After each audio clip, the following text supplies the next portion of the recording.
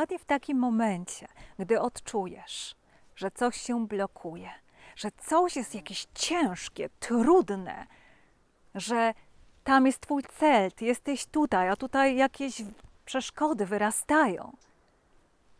Wycofaj się, skoncentruj na sobie. Może zamknij drzwi, może zamknij okna i spiesz się powoli. Nie podejmuj żadnych pochopnych decyzji. Jeżeli w ostatnich dniach, w ostatnich tygodniach siły mroku uderzyły cię w najbardziej czułe miejsce, ta rana się jątrzy i krwawi, to również jest to czas, aby wycofać się do Twojej skorupki i zregenerować.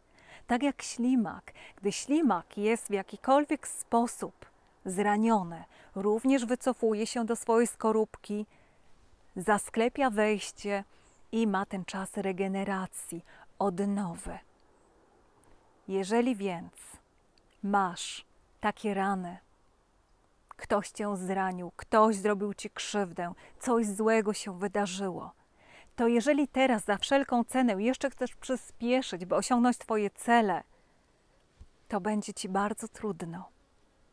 Najpierw musisz wrócić do formy, czyli wycofaj się, skoncentruj na sobie, skoncentruj na tej regeneracji, na tej odnowie. I dopiero gdy poczujesz, że jesteś w pełni siły, w pełni mocy, że te rany się zagoiły i że nadszedł odpowiedni czas, bo burza przeszła dalej, wtedy otwórz drzwi i wyjdź na zewnątrz. I powolutku pójdziesz dalej w kierunku Twojej idealnej wizji życia. To jest bardzo ważne przesłanie, bo siły mroku uderzają teraz w osoby, które kochamy, w miejsca, które kochamy, w istotki, które są pod naszą opieką. To boli, to powoduje, że jesteśmy osłabieni, że nie wiemy jak dalej. Ta globalna świadomość, ta ciemność, która nadciąga tak również symbolicznie w tym momencie, również ma na nas taki wpływ, że nie wiemy jak dalej.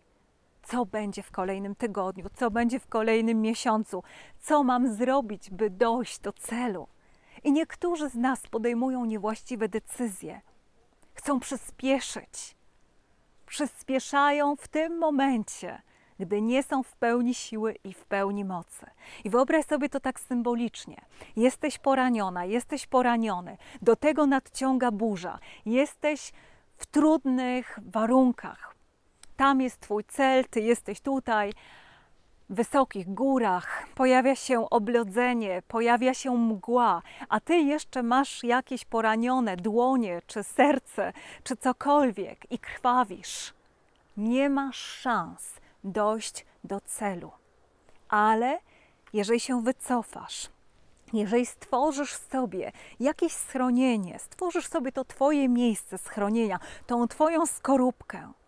I tam odczekasz, aż ta burza minie, aż ta mgła się rozrzedzi, aż będzie cokolwiek widać, i w tym momencie skupisz się na sobie, na regeneracji, to gdy to wszystko minie, i ty się zregenerujesz, to dwa razy szybciej dojdziesz do celu.